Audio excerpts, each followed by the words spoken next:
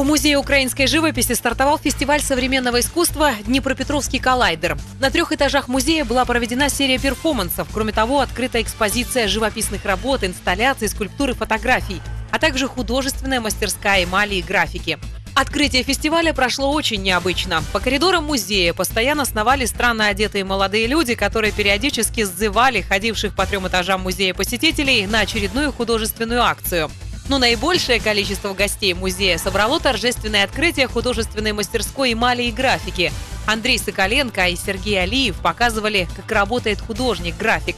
Стоит отметить, что в рамках фестиваля будет доступна для обозрения экспозиция живописи, скульптуры, фотографий, инсталляции – Кроме того, состоятся встречи художников с гостями музея, будут проводиться мастер-классы, а искусствовед Елена Годенко прочитает лекцию о современном искусстве.